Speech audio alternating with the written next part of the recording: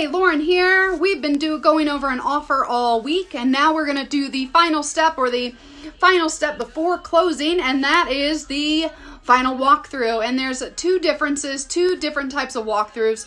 One walkthrough is for a resale. You typically do this uh, within 24 hours of of closing. You want to make sure the house is ready for you to move into, and so in resales, uh, you just want to make sure any and all inspection requests or resolutions have been done. And so that's why you want to make sure it's done at least, well, usually around 24 hours in advance, if not longer, because you'd hate to push back a closing because of issues with the final walkthrough.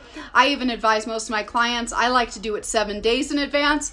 That's a lot easier to do with new construction homes than resales because Usually you don't have that luxury of seven days because people are living in their home.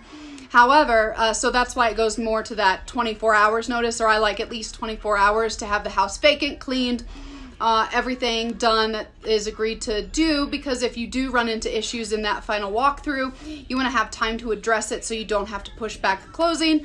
Otherwise, that your house isn't going to sell or you're not going to close on that house and that closing is going to get pushed back and you delay getting your new home. Uh, with the exception with the new new homes, uh, I do handle these a little bit differently since they are new construction. Uh, I like to do inspections periodically through the entire building process and I like to do what I consider the final walkthrough at least seven days uh, prior. Usually builders aren't going to do super tight deadlines or maybe some do.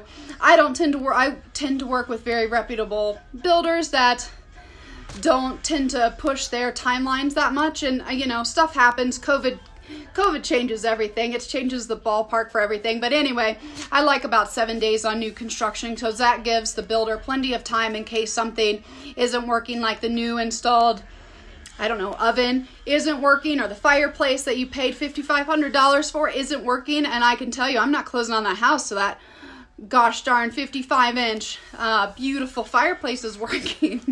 um, so if you guys ever have any questions, um, comments, or anything, my door is always open. And a lot of what I say is a very I consider it a very dynamic, active conversation. I don't say, you know, extremes like yes or no or black white the real estate market does have uh, it changes and so the definitions do kind of change with the market. Right now it's a strong sellers market so you're seeing more aggressive terms uh, in things and with walkthroughs and you're not it's just a you know the terms i use are just general terms and it's always good to have great representation that does understand that the real estate market is dynamic and it's always constantly changing. So thank you guys for tuning in. Have a good night